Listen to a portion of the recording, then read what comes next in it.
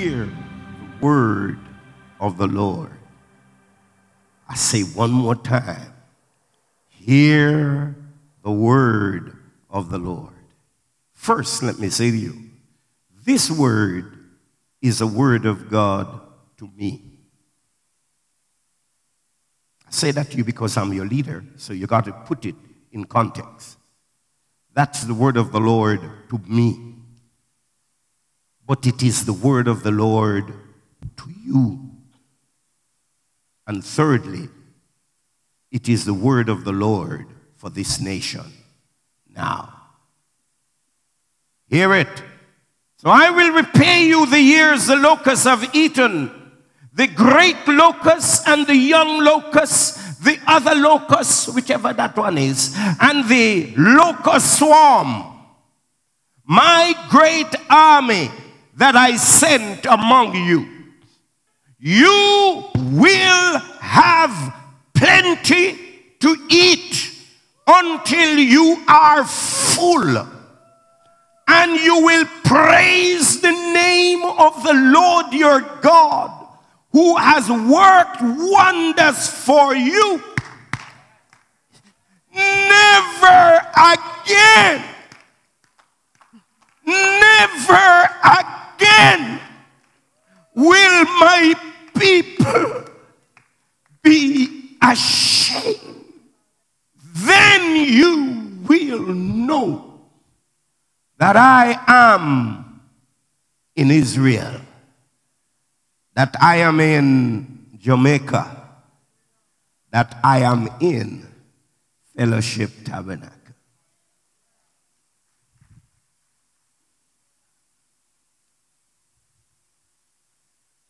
That I'm in Israel, that I am the Lord your God, and that there is no other. Never again. He's repeating it. Watch when you see God repeat something. Never again will my people be ashamed. Ah. And afterward, glory. Look at your destiny. Watch it, watch it, watch it. Afterward, somebody say afterward. Afterward, I will pour out my spirit on all people. your sons and your daughters will prophesy. Your old men will dream dreams. Your young men will see visions. We have to go find out what it is to dream a dream. what it is to see visions, because that's the destiny of the young men. And it's the destiny of the old. You're going to begin to dream dreams. Sometimes I smile when I say, Why does young men see visions and old men dream dreams? We're not getting into that this morning. We're not too fast. We'll find out. But come on here. Even on my servants, both men and women, I will pour out my spirit in those days. Watch it. I will show wonders in the heavens and on the earth blood and fire and billows of smoke. Thank you, Lord. Thank you. That's the word of the Lord. That's about to happen to us. It's what God is about to do for you. That's the season in which you are living right now. It has begun. I have begun to deliver it, but you must begin to possess it. This is the time and the season for all of this. But hear further the word of the Lord this morning. Exodus 35.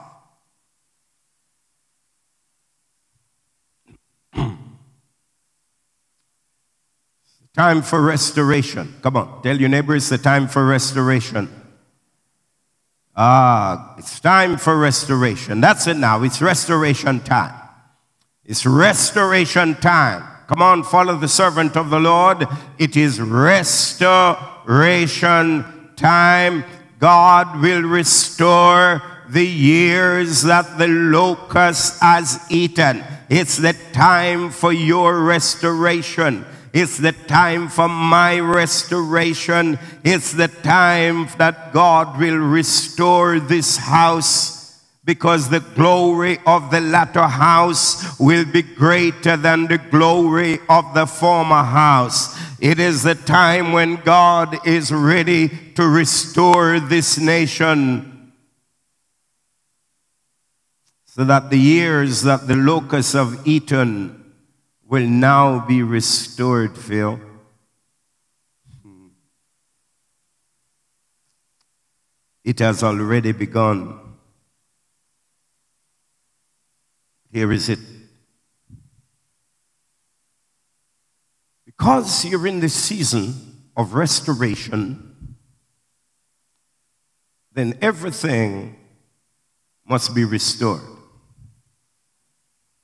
Follow. And they want to say the logic, but it is logical, but it is more than logic, it's principle to guide it. You're in the season of restoration. God has, is restoring to us everything that the locusts have eaten. And so, therefore, everything that you, in your power, you must restore. Come on, listen carefully to the servant of the Lord. What you have due power and authority over and the ability to restore restore it because you're in the season of restoration. So, some things in your life that need to restore, restore. Let me give you just an example of a simple one restore your devotional life. Restore the altar in your family. Start praying again as a family. Start reading again the word together. In the season of restoration is the time when you restore all that you can restore because God is saying, I'm restoring all that I can restore. So if He's restoring, but you not restoring, then you are out of sync with God. Follow me here, you know. It's just this morning when I get up, God just showed me one thing, you know as my eyes open. And then it just says, okay. And I'm just sharing it out of my flow. You practically, and now I know why he's telling me what he is saying. When he has begun to restore, then you must join in the restoration and restore all that you can restore because He is restoring all that He can restore. And how many of you know that there is nothing that He cannot restore? And so, if He is restoring everything, just align with Him. Tell your neighbor, just align with Him. Don't be working contrary to Him. Him can be restoring but you doing something else. Focus, and we say, go with the flow. So start restoring things in your life that not to be restored. Don't restore not that not supposed to restore though. No we are shot on blackboard. But the things that need to be restored, begin to restore. Do what you can to restore. Some broken relationships, restore them. That's why unforgiveness is the first thing God says you must empty from your life. When He's going to bless you, He says, get out the unforgiveness, get out the bitterness, Get out the pain. Restore those relationships. And you have been, I feel the word of God coming. Some of you have been stubborn because you tell yourself, me nah talk to them again. Me nah deal with them. You're a fool. Because it is not them that's in trouble. It is you. And that's why you're a fool. So you had better deal with it for your own good. Restore everything that ought to be and can be restored, restored. By a conscious, deliberate act of your will. Because that's the season in which you are. That's what God is doing right now. So restore. Whenever God, write this down, whenever God promises to do something for you, there will always be something, there will always be something that you have to do. There is God's side, and He will be faithful to it. And then there is your side that you must be faithful to it. One, it shows that you have faith. And without faith, it is what? Impossible to please God. So you got to, your corresponding action is saying to God, I believe your word and I trust you, and so I will do what you have said. If you don't do what you have said, there is no presence of faith, and therefore there is no action that God can continue to do. Because built into every promise of God is the fulfillment of the promise, but built into it is the requisite of faith that's connected to it. Because wherever faith rises, the word of God is activated. So it cannot be activated where there is no faith. Faith is that which activates every word of God. And that's why it's always a response needed from you to see the fulfillment of the promises of God.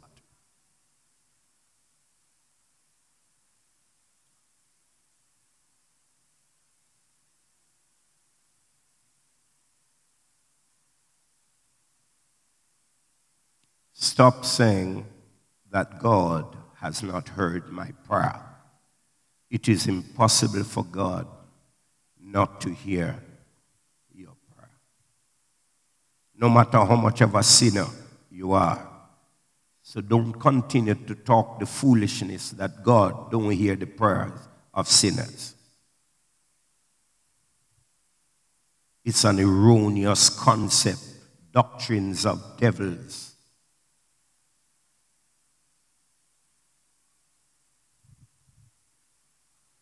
worry, we're not going there for a while.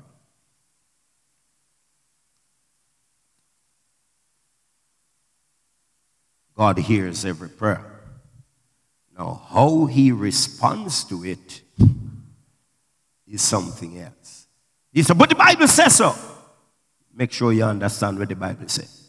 Before you chat, say the Bible said. Don't understand, don't say what the Bible said from your limited understanding. Find the truth of what it is, is meant by what it says. All of you know that you can hear somebody say a word, but what you interpreted the word to mean and what they meant by the word they said is very often not one and the same thing. Come on, am I making sense to you? Understand it. So God hears your prayer but you must meet the conditions for the action, and that is every word of God has something in it that requires your response of faith to activate the fulfillment of the promise.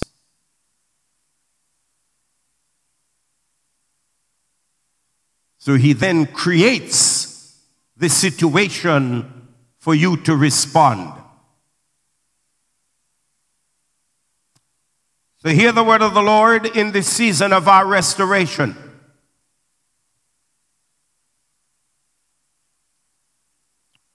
Exodus 35 and verse 4.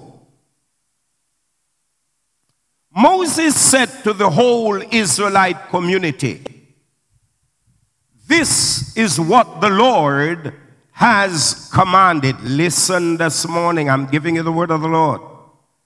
This is what the Lord has commanded. From, listen to it carefully, from what you have, not what you hope to get. From what you have, take an offering for the Lord. Everyone who is willing is to bring to the Lord an offering of gold, silver, and bronze, blue, purple. Why could God include KC in it? Sometimes you wonder if God make errors. But blue, purple, and scarlet yarn and fine linen, goat's hair, ram skins dyed red, and another type of durable leather, acacia wood, olive oil for the light, spices for the anointing oil, and for the fragrant incense, and onyx stones and other gems to be mounted on the ephod and breastplate. All, come on, all who are skilled among you are to come and make everything the Lord has commanded. The tabernacle with its tent and its covering, the clamps and the frames and the crossbars and the posts and the bases. Blah, blah, blah, blah. He names this stuff. Then go down to verse 20. Then the whole Israelite community withdrew from Moses' presence. And everyone who was willing and whose heart moved them came and brought an offering to the Lord for the work on the tent of meeting for all its service and for the sacred garments. So all who were willing then, men and women alike, came and brought gold jewelry of all kinds, brooches, earrings, and ornaments. Where them get them from? Where did they get them from? Where the Israelites got them from? Because they were in the wilderness, you know. It was the plunder from the Egyptians that they got before. So, what God is asking you to give is not what you must go find. He says it's coming out of what you already have. So, He knows what you have. So, if you tell Him no, you lie. Because He says, Me give it to you in the first place. They all presented their gold as a wave offering to the Lord. Everyone who had blue, purple, scarlet yarn, fine linen, goat hair, ram skins, dried red, or the other durable leather brought them. Those presenting an offering of silver, bronze brought it as an offering to the Lord, and everyone who had acacia wood for every part of the work brought it. Every skill, come on, Every skilled woman spun with her hands and brought what she had spun blue, purple, scarlet yarn, fine linen. And all the women who were willing had the skill spun and had the skill spun the goats here. The leaders brought, no, I love this. The leaders. So there is not just the people. There is reason why he also said the leaders. Not tell nobody. Sometimes the people give. Sister, don't ever say that again. In the name of Jesus, I rebuke it and cast it away from you.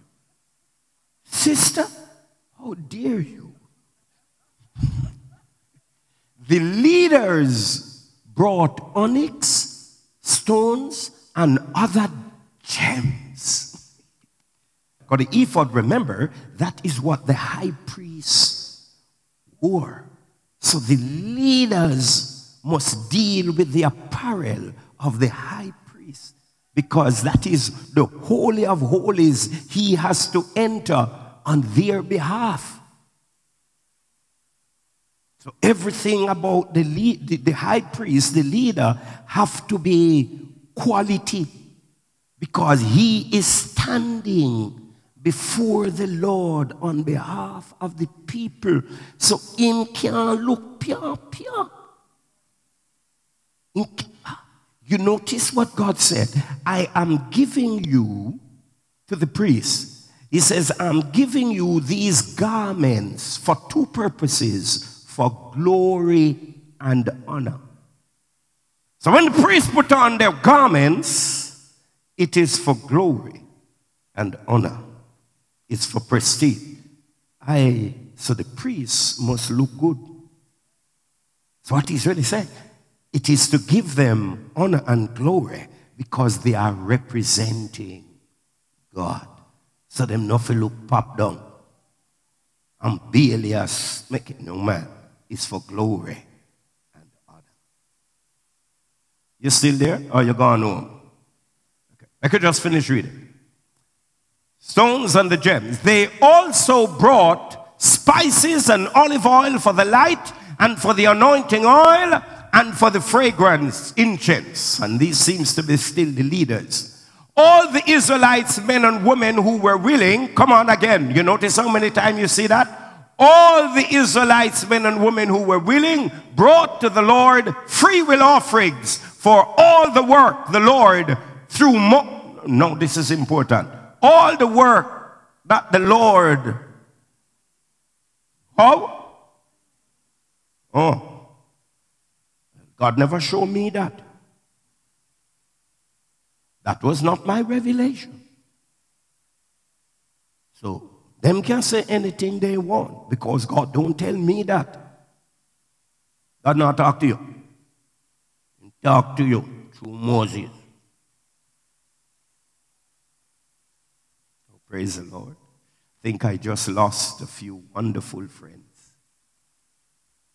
Through Moses, that the Lord through Moses has commanded them to do. The Lord speaks to his people through his leaders of his heart and mind, and the leaders must have faith to trust that from the people must have faith to trust the word of the leaders and do what God says because then God takes care of them and they never need to fear because God says, even if the leader is wrong, he will cause all things to work together for your good so you can suffer for wrong leader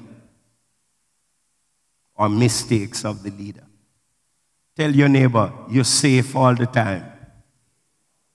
Come on, you're always safe. To obey God, you are always safe. If the leader make a fool of himself, you know what the leader is doing? bringing judgment on his. It's the very reason why Moses never go in the land. Because the leader go and get him thing if him not follow through. So him have to stay and look on the land but can't go in. all the Israelites, men and women who were willing, brought to the Lord free will offerings for all the work the Lord, through Moses, had commanded them to do. Come on, quickly. Then Moses said to the Israelites, See, the Lord has chosen Bezalel. Don't know what the hell I'm saying, but somebody like that. Yeah, but Bezalel, son of who? Uri or Uri, the son of Hur of the tribe of Judah. Hallelujah. And he has filled him with the Spirit of God, with wisdom, with understanding, with knowledge, and with all kinds of skills to make artistic designs for work in gold, silver, bronze, etc. But then what it says as it gets in the end of it and the next verse, it says, Then Bezalel came to the Lord, to Moses, and says, Moses, that's the verse I was looking for. He says, Moses, tell the people of broad all that we need. Tell them, stop. because everything we have more than enough to finish the house of God. So they had to stop the people from giving from those hearts who were willing. Okay, with that then, what does God say? When you leave here today, go back over what you hear this morning. Understand it, imbibe it, receive it, but put it in context that you get it from the jo- Joel, what God has promised. And so, therefore, is there time for restoration. I release that grace and that word of God to you. It's a time for restoration. But in every restoration, there is your corresponding action that God requires from you to show your faith. And so, just to make sure I break it down for you, you're receiving the restoration that He has promised is, is going to be hinged upon your obedience to what He has said as a response of faith, so that you will activate the promise and release the fulfillment of the things that God has said. This word of restoration is the time of restoration like I told you where it starts. Me. Because I've suffered the last 12 years, like I've told you, they have been the worst 12 years of my life. I nearly lost nearly everything that I had. Not because you have never heard me say anything about it. Because I don't complain, man. Because all things work together for what? So I don't worry myself. I just want to know His God. At the beginning, but they turned around and nearly draped God. It's just that I couldn't find where him there. so, so if drape him, I look for him, but me had struggles to find where him there. Can he hide? Because if me did ever catch him when I was into that phase, sure. Him go on, him tell me just, then him find I say, son, this is all me, man. You just ease yourself. Trust me, I cannot fail you. Let me give you a scripture. Isaiah 50, I think, on verse 10. When you walk in the dark and cannot see your way, trust God.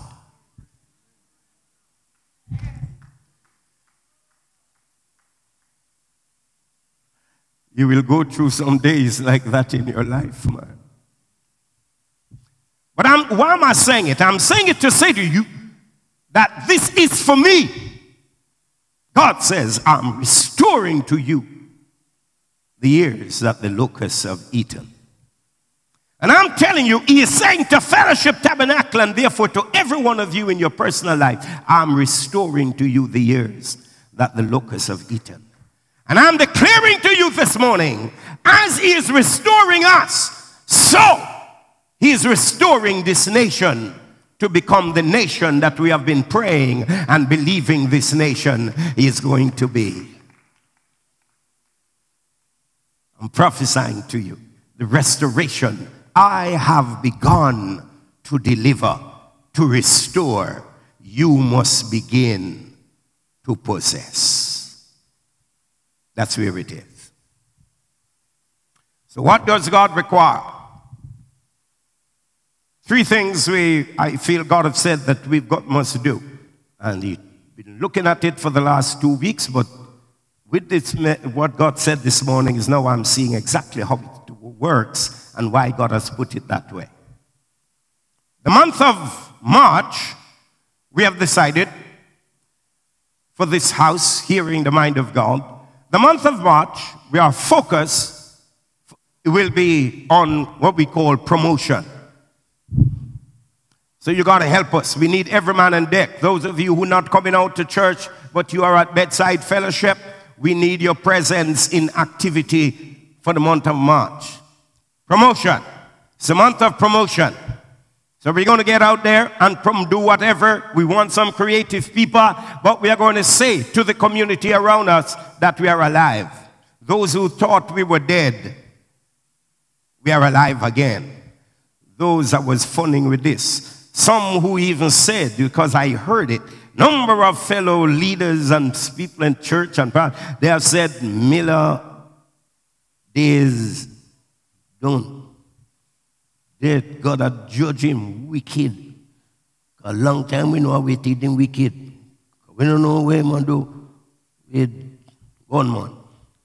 And he can carry gun, Jesus. Wicked judgment upon him, and dead and done.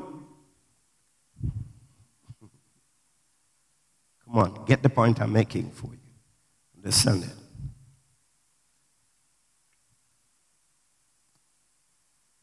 He's restoring the nation. The nation is about to be restored.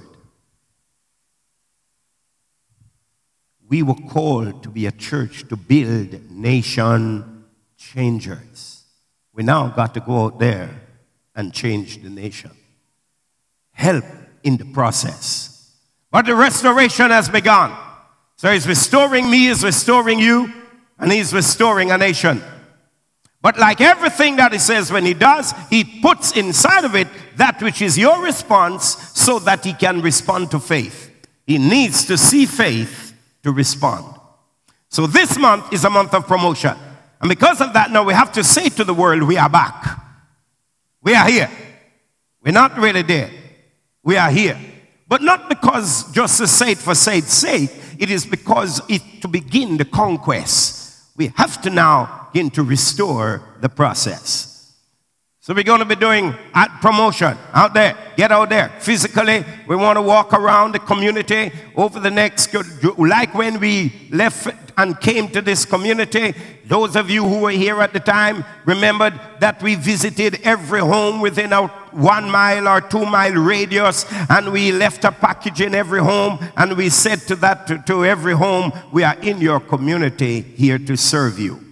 We have been in the hiatus wilderness for the last 12 years, definitely, which is pretty much since we have been here or just shortly after we came, we've been in the wilderness because we've been here now maybe 14, just about, but the last 12 between COVID and all that has happened to me, the shaking has happened, which has been wonderful. Greatest thing could ever happen to us. But now, we're going back out there now, and so the month of April, of May, we want to march, sorry, we want to make the community know that, come on, we are here to serve you. And we can serve you now better than we have ever served you before because we have grown and matured. So it's for promotion and everything out there. I wanted to get that. All right? And the month of and, and training. So we're going to be retraining the whole church. So understand you, some of you have been called already because we want to get ready. Getting ready back for this new phase because we are going out there now because now is a new day. It's the new season. So it's going to be training in this month while we're doing some promotional activity out there. So we need uh, who going to do it, I don't know yet. So we need every mind on deck. So as I talk to you, something jump in your spirit, then talk to us and say, Yeah, when I meet that, we can't help you to think it out. Because of we that. So there. And the month of, of, of April is going to be the month of performance. So, in other words, by April, every ministry should be back up and operating. All of our leaders in back in full place because we are out of the rest period. We are out of the wilderness now. We are going to possess the land. So everything must be back up and running for April 1. And it's not fool me or fool you. So on April 1, everything back in operation. So April is performance month. Must begin to now deliver, show ourselves. When you come, we must look. From a person visits the church, from the car park to the car park, they must begin to see that they have entered the place of the presence of the living God. We're back to top quality performance. So tell your neighbor, excellence. Excellence. Excellence. So we got to be excellence. So then now that leads me to the other thing. So understand that. That's how it is. But here is the other thing. And the thing for our faith. God says to my son, for the season of restoration, the restoration begins with you. The restoration begins with you. I have to restore you. What do I mean by that?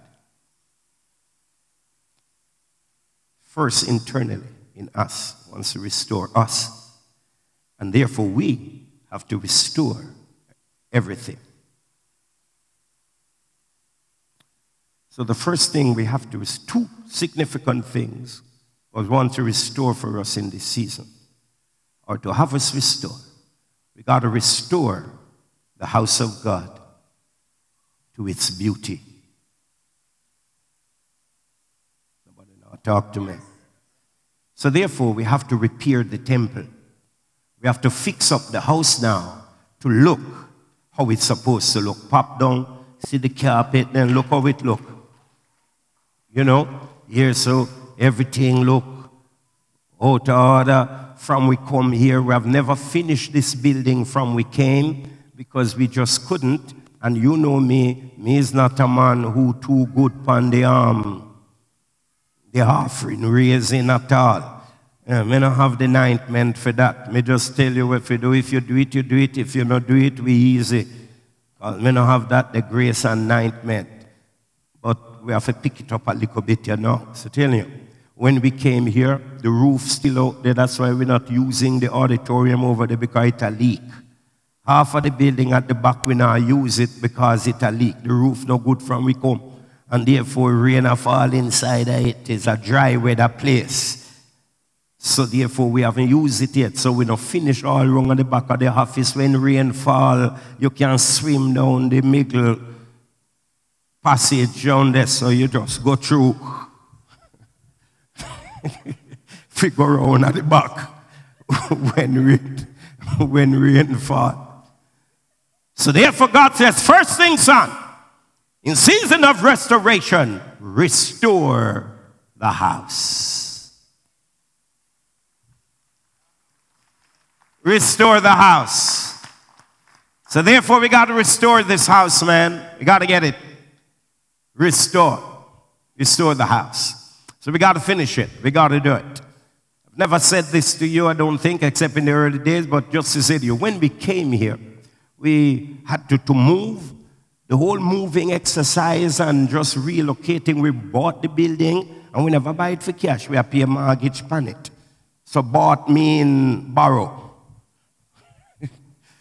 And we own the building, but, we, but who really own it is one or two institutions. So we've been doing that for the 14 years we've been here, and we had to find the money to fix it up. So we had to do the mortgage and then we had to find the funds to move, to relocate, to buy these chairs, everything. We perhaps spent about 50 odd million dollars or more in the moving exercise and trying to get this place ready. And that had nothing to do with the mortgage on the building. But once we came in and settled, and then we continued doing stuff. So therefore, a lot of that money was given. Some of it was borrowed money because we had to do it in a short time to get everything ready. And so we've been paying it back. And so like fixing up the the roof was never a priority. So some people have wondered how this is not done because we don't have the money. And it was not a priority because doing what we have to do there was more important at the time. But God said, Now I am restoring everything, so therefore it's time for restoration. So that's what He's giving us to start with first. So I'm saying to you this morning, we got to restore this house now with immediacy. Whatever we have to do, we're going to start the process. And therefore, I'm also just going to extend my faith and say, God would love to finish pay off the mortgage too. Because we have five years left, by the way. So praise God. Clap yourselves. You we have been gracious that we have been paying off the mortgage that we have. And we have, I think we have about, well, you know, like with everything, is the last few years you really pay for, for the principal. So we're paying down. So we perhaps have about 20 million left. And by it is with our present payment pattern, by 1928, 2028, we're supposed to clear off everything. Praise God. And then we'll be free. But I'm not waiting for 28. 2023, we are going to clear off everything so that we can just look to transform a nation. That we can have a little better money to compare with staff who we have had no increase in 10 years, but they continue to work faithfully, just the same.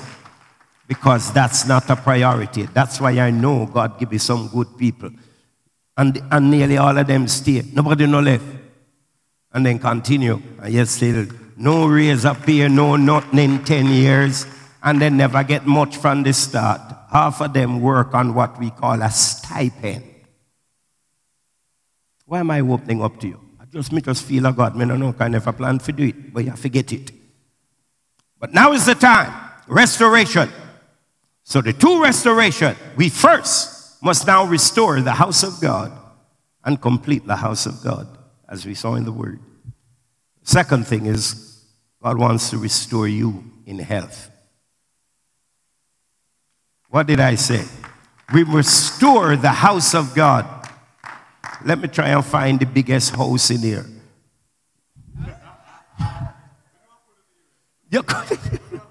no, no. God wants us to restore the house of God, this temple where we come to worship.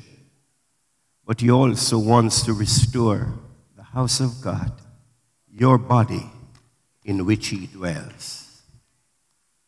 Therefore, I'm declaring to you God wants everybody healed in this season.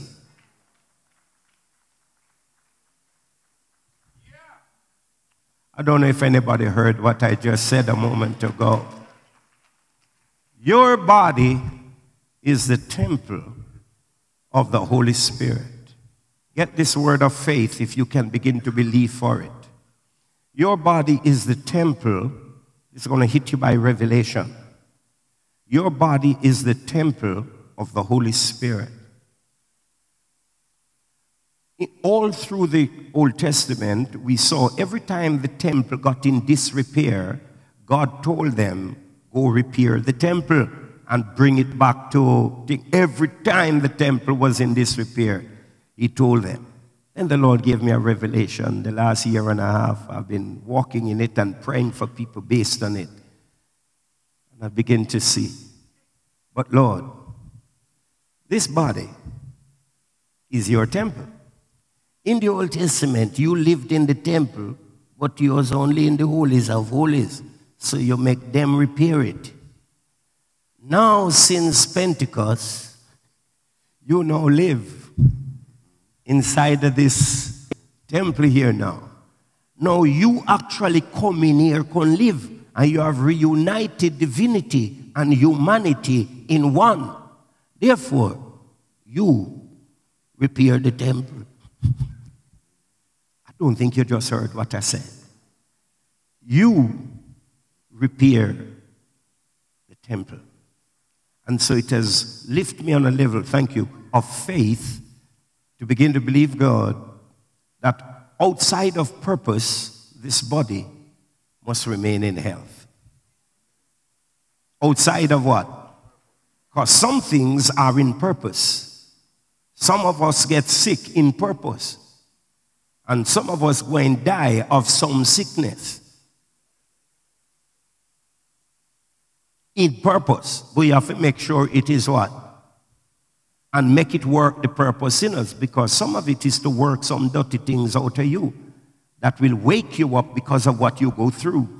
But in principle, he wants his temple what? Restored. If you can receive that, that's a word of faith to help some of you how you must begin to pray and begin to believe by faith and stop running to doctor, everything wrong. You take a tablet and Lord, me I go dead. Yeah, if your time done dead, and go about your business. God, death is the greatest thing that could ever happen to your life when you have lived it in purpose. So when you're ready for death, left it, nobody no balling. See? But if it is not your time, then therefore, man, let it work. Lessons you to learn, just humbly learn the lesson and move on. Or if it is any other reason, I bring it by you. Take charge of it and cast it out, man. Because that ain't, not, that ain't for me, man. My body is the temple of the Holy Ghost, and I'm living it to the glory of God and advancing the purposes of God.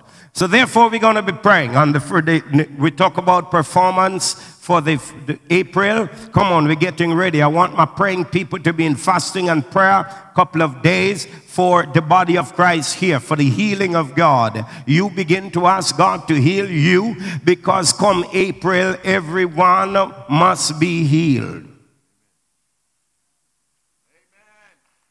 But I mean, you nobody talk to me.